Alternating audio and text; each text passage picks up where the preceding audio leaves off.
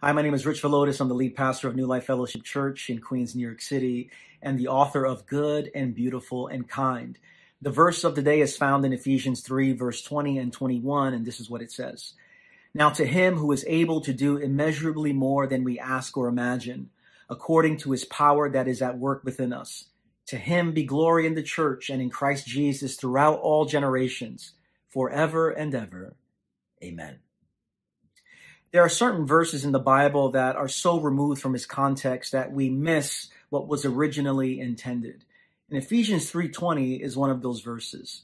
This verse is beautiful. I have had my faith encouraged by this verse. When I've been down, this verse has picked me up. But this verse has a particular context with a particular message. Before Ephesians 3:20, Paul has been writing about this mystery that Jews and Gentiles could become a new family in Christ Jesus. And this was very shocking because Jews and Gentiles did not see eye to eye on so many things. There was a mutual hostility between them. But in Christ, they were joined together, and all of this sounded so crazy.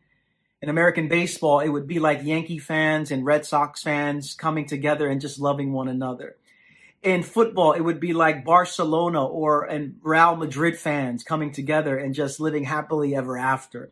In American politics, it would be like Republicans and Democrats just loving one another. It all sounds too good to be true. And yet, what Paul is saying in this message is something has happened. When Paul writes that God can do exceedingly and abundantly, he's not talking about simply individual blessings. He's writing about God's abundant power to join people together from mutually hostile histories into a new family in Christ. And why is this important? Simply this. In Christ, the walls that usually separate people can come down in his name. Why?